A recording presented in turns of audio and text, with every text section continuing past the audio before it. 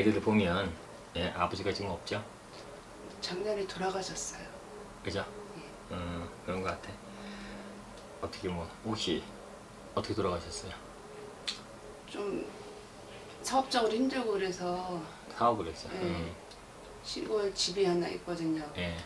가서 이제 머리 식히고 온다고 그랬는데 음. 약을 드셨어요. 어, 농약 뭐 이런 거. 예. 네, 집에 일단 상문이 들어왔어요. 그래서 내가 거기 상문이 들어왔던 것은 일단은 보인다도 일단 뭐 이런 망자가 진을 치고 있는 거야. 선도나 그런 건 안 했을 것 같아요. 시댁에서 교회를 다니거든요. 어, 그래서 그런 거 안 믿으시니까 어, 그냥 그냥 넘어갔다. 예. 아이고 그래도 하세요. 만약에 본인이 본인 신랑이잖아. 네. 저도 어렸을 적에 교회, 교회도 다녀봤어요. 근데 무당 됐는데 어쨌든 대한민국은 토속문화 그죠? 무속이라서 다 웬만해서 교회 다니시는 분들 선도를 하는데 요즘은 음, 해야 됩니다. 보니까 자손도 둘이나 있고 둘 다 아들이네. 네.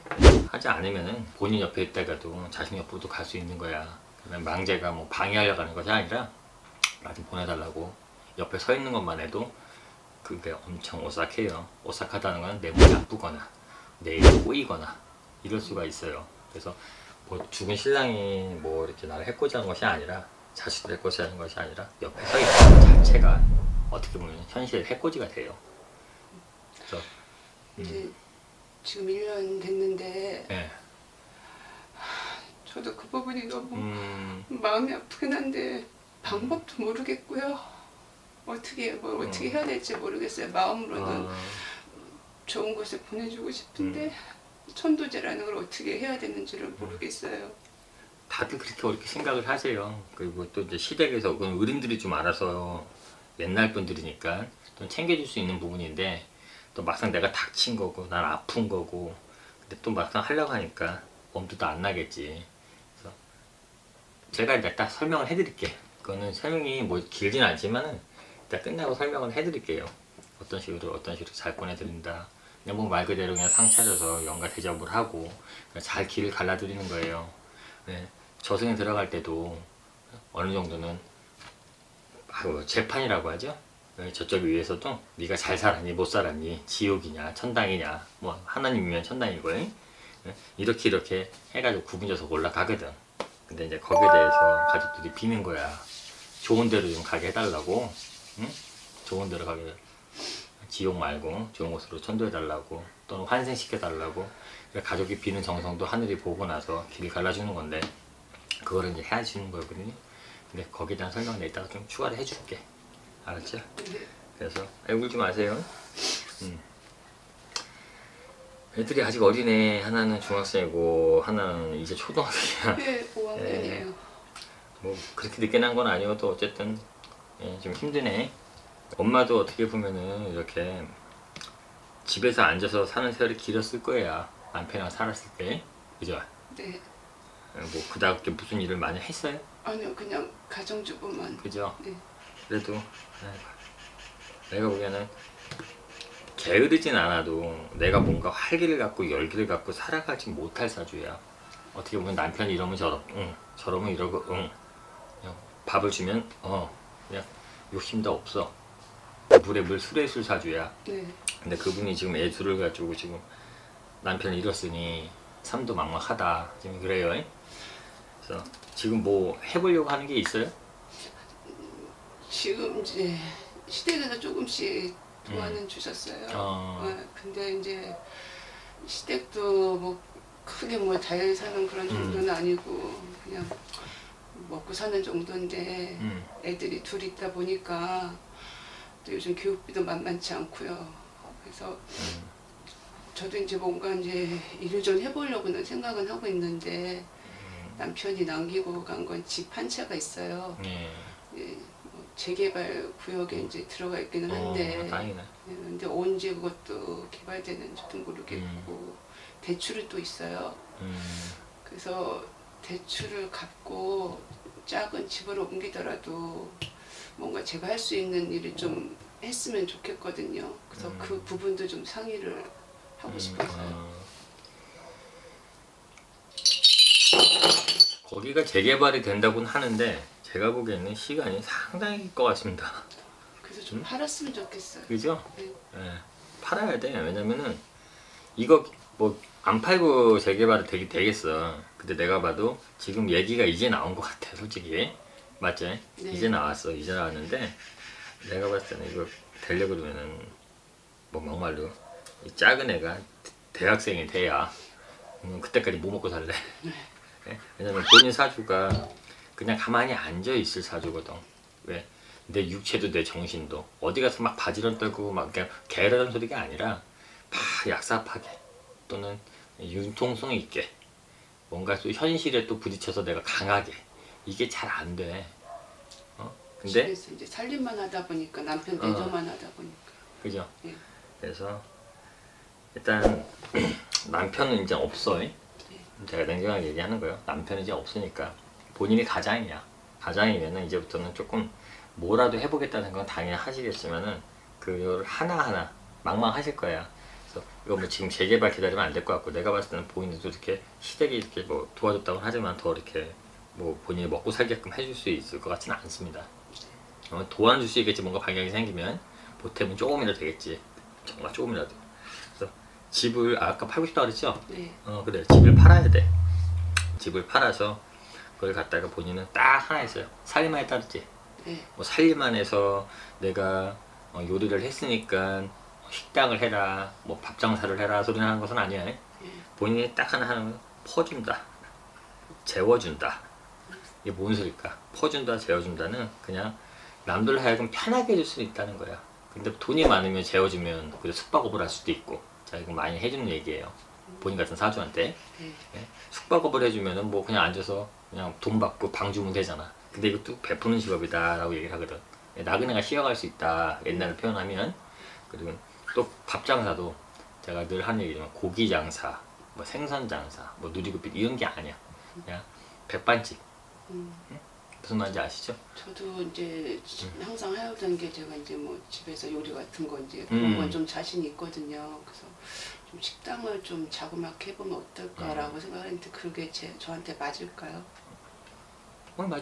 맞아요. 그 대신 이제 식당을 하는데 뭐 요즘도 막 저희 고인한테 만약에 나한테 뭐가 제일 잘 맞겠어요? 라고 하면은 저는 이렇게 좀 누리고 비린 건 피해라 이런 사주들이 그런 얘기 많이 해주는데 죽집 진짜. 음, 요즘 뭐 본죽 체인점 잘 되잖아요. 네. 그래서 그것도 뭐 돈이 만만치는 않겠지만 내가 보기엔 집 8년 어느 정도 될 수 있을 거야. 죽집 같은 거 아니면은 그냥 내가 뭐 분식을 해도 돼. 어? 분식을? 왜냐면 본인 같은 경우는 일단은 인물도 좋고 깔끔하고 하니까 식당에도 사람들이 어, 딱 보기 좋은 인상이야. 이왕이면 보기 좋은 그죠? 그럼 깔끔하게 생기시면 해주는 요리가 더 낫잖아요. 그죠? 그건 됐어. 용무는 됐어. 됐고 또 그냥 시키면 시킨 대로 잘 하는 사주기 때문에 내가 뭔가 개발하고 개선하고 하지 않단 말이야 그래서 그냥 내가 할 일이 요리 집에서 살림했잖아요 네. 뭐 예를 들어서 내가 분식집 한다 그럼 뭐 쉽잖아 그쵸? 뭘막 어렵고 복잡한 거 배우다 보지 못해 네. 그러면 또 하다가 하다가 지쳐가지고 또 잘못하면 또 그냥 어, 이용도 당할 수 있어 보이는 네. 예, 온실의 하초잖아 어떻게 보면 내가 살림만 했어도 온실의 하초인 거야 네. 뭐 부유하게 살아서 온실의 하초가 아니야 알죠? 그래서 그냥 그렇게 자기자기 이렇게 분식을 하든 백반집을 하든 식당 해도 되니까 본인이 하고 싶은 게 있으면은 잘 구상을 하셔가지고 내가 봤을 때 죽집 잘 때 괜찮은 것 같다 네. 어, 죽집 소개팅 나온 것 같진 않아요 죽집 이런 거 알아보신 적 있어요 혹시? 음, 한 분이 좀 추천을 해주셨어요. 어, 죽집도 어. 괜찮고 반찬 가게 어떠냐. 어 반찬 가게 괜찮네 네. 어 거기서 뭐 어 괜찮다 그래서 한번 반찬 가게도 음. 한번 생각을 해보고 있고. 음 괜찮네요 근데 이제 집이 빨리 팔려야지 되는데 어 네, 지금 아직 음. 안 팔리고 있어서 걱정해서 언제쯤 그러게요. 항상 그러면 집이 안 팔려서 걱정이야 사람들 다 집이 팔려야 뭐가 시작이 되는 집들이 많아 내놨어요 지금 네, 내놓은 지 지금 몇 달 됐어요. 아 몇 달 됐는데 보러는 와? 안 올 것 같아 지금 아직까지는 좀 그지? 네. 안올 것 같아 내년 요맘때 아, 어? 1년 어, 올해는 내가 보기 쉽지 않고 그 다음에 물론 보도는 올 겁니다 내년에 봄부터는 와도 예, 만약 본인이 100원을 내놨으면 예, 아마 쉽지가 않을 거야 가격을 흥정하기가 근데 내년 요맘때 됐을 때 한번 거기가 한번 또 시끄러워져 음, 뭔가 사탕 같은 또 말이 나와. 그게 아직 나온 지가 얼마 안 됐잖아. 네. 그게 이제 귀에 들어갈 날이 이제 조금씩 퍼질 거 아니에요? 음. 그쵸? 현실적으로 봤을 때. 그때 아마 이제 본인이 원하는 가격에 그래도 비스꾸리하게 받는다라고 하니까 그때까지 좀 기다려봐. 이번 가을 때. 그때 본인이 팔면 파는 거야. 네. 그 가격에 못 팔면 못 파는 건데 내가 보기에 그때 그 가격에 들어오면 내가 100원이면 한 80원 줘도 팔아. 팔아요. 예. 왜냐면 올 내년 수에서 올해 해도 되는데 어차피 뭐 신랑 죽은 지 얼마 안 되는데 네. 본인이 뭔 정신을 하겠어. 그래서 지금 전부로 온 것도 정신이야. 내가 먹고 살게 찾으러 온 거잖아. 예, 예. 집에서 멍하니 있는 게왜 본인 같은 경우가 이 상처를 잘 극복하기가 쉽지가 않거든. 음. 근데 아이들이 있으니까 어쩔 수 없는 것 같아요. 그래서 가을쯤에 내년 가을 예, 뭐 빠르면 초가을 수도 있고 늦가을에 뭐 한두 달 차이야. 네. 그래서 그때까지 본인이 뭘 하기, 하려고 하면 일단 일은 해봐야 될 거 아니야. 네. 그쵸? 그러니까 뭐 내가 돈 있다고 집 팔렸다고 아 시작하자 죽집 해야지 하고 오픈 이건 아니야. 네. 시간이 많은 것은 아니야 이제부터. 이제부터는 집에 앉아갖고 막 걱정하고 뭐 해야 되나 선택을 빨리 해서 내가 보기에는 반찬 가게 죽집 둘 중에 하나 괜찮아. 고민을 깊이 해봐요. 예. 둘다 괜찮으니까. 그래서 해가지고 이왕이면 본인은 본인이 뭐 요즘 반찬 가게 다 만들어서 오잖아. 네. 죽도 다 이렇게 오는 거고. 그냥 뭐 요령을 좀 어떻게 하는지 일을 해봐야 알지. 그죠? 예. 그래서 일을 하셔가지고 그런 식으로 해서 살아봐. 그러면 내년쯤 가을쯤에 팔리면 내가 경험이 있으면 후전쯤에 차려도 되니까. 그래도 본인이 상무는 풀고 가고 예. 천도는 나중에 설명해 줄게요. 네. 예, 자꾸 조상이 앞을 쓰고 있으면 좋지가 않아요. 네. 자꾸 자꾸 저도 요즘 약 뜨고 드시었다 그랬지 약. 예. 예, 나요 지금. 그냥 말을 그냥 길게 안 해요 그런 얘기는. 그래가 보자. 근데 이게 초등학교 이제 5학년? 네. 어. 얘가 안 좋아 얘 근데 몸도 몸인데 정신적으로도 제가 그냥 편하게 얘기할게요. 뭐 없어요? 얘가 약간 좀 축을 맞고 태어났어. 자폐 그죠? 자폐. 예. 그럴 것 같아서 아까 쓰자마자 그래서 그 얘기부터 하고 나다가 또 신랑 얘기가 나오니까 했는데 뭐 그건 어쩔 수 없다. 그거는 뭐 심할 것 같진 않아요. 3급에 어, 한급. 네. 어, 지체장애 3급. 아 그랬구나. 자폐증 네. 그런 그런 거예요. 근데 그런 거는 뭐 어떤 천도제든 뭐 어떤 뭐 기도든 해서 음. 뭐 완화가 아, 될수 있는 방법은 아니 없나요? 그거는 내가 솔직히 뭐 이거 갖고 뭐 완화가 될 수 있다는 선생님도 없을 거고 자폐는 자기가 갖고 난 지병입니다. 그걸 갖다가 얘가 이렇게 태어났어 팔자가 그래서 그런데 조금 이런 아이들은 이제 위험하지 않게 어디 가서 이렇게 위험할 수도 있잖아. 또는 이렇게 학교에서 놀다가 또 왕따를 당할 수도 있고 그죠? 네. 그래서 그런 일 없게 빌어갈 수는 있어요. 왜 얘 같은 경우는 상처를 받으면은 굉장히 또 내려간단 말이야. 더 심해지잖아요. 네. 그래서 얘를 좀 보호해주고 얘를 이해해주고 얘를 좀 안아줄 수 있는 주변이 뭐 친구가 이런 식으로 꼬일 수 있게끔 기도는 해줄 수 있어. 하지만 그게 뭐 완치가 된다 것은 아니야. 하지만 빌어주는 게 나아. 내가 봤을 땐. 아들을 생각하면 더 마음이 아파요. 네, 아들 아들이 제일 지금으로서 나 둘째 아들이 제일 마음에 걸리고 아 그러겠지. 아픈 지- 미래 생각하면 너무 마음이 아프고 마음 아픈 거는 뭐 충분히 저도 알겠어요. 근데 뭐 마음 아픈 얘기 하면은 답은 뭐 얘가 뭐 어디가 뭐 살짝 뼈서 상처가 나서 뭐 괜찮아 이런 말 했는데 예, 약간 이제 그런 장애 등급을 가지고 태어났기 때문에 예. 하지만 장애 등급 가서 다못 살지는 않습니다. 걔네들 걔네들 나름대로 행복한 삶이 있고 그죠? 지들 정신 세계에서 또 우리보다 더 행복할 수도 있어. 하지만 그 더 행복할 수 있어는 내 환경이 괜찮아지면 행복할 수 있는 거야. 근데 정상의 사람들은 환경이 힘들어지면 그래도 이겨내는데 이런 아이들은 환경이 힘들어지면 자- 더 내려간단 말이야. 그래서 더 이렇게 받쳐줘야 되잖아. 그래서 비르다 보면은 크게 문제는 없을 것 같아요. 뭐 이게 완치가 될 수 있는 병은 아니잖아요. 그죠? 그리고 근데 내가 보기엔 큰 애는 괜찮아. 네, 공부도 내가 보기에는 고쳐할 것 같아. 되게 잘해요. 그죠? 네, 얘는 내가 봐도 엄마 나 뭐 예를 들어서 뭐, 뭐 그래 우리 어렸을 때처럼 뭐 나 판사할 거야 검사할 거야 경찰할 거야 막 이렇게처럼 꼭 그런 쪽으로 일을 많이 할 겁니다. 예, 나중에 시켜보세요. 예.